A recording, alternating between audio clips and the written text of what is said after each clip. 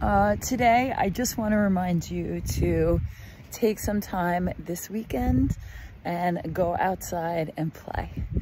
Uh, we all, as grown-ups, tend to forget to play. And if we're around our kids and our kids are small, that reminds us, right? You see the joy in their face and it reminds you of how fun and simple that can be. But as a official grown-up, I can tell you that play is just as important, if not more, when you are grown up and your kids are no longer home. So today, go throw a ball, go to the playground, run around, roll on the grass, swing, whatever it is that makes you feel like you are playing.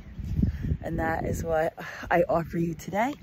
And have a wonderful weekend and enjoy. And I will see you tomorrow.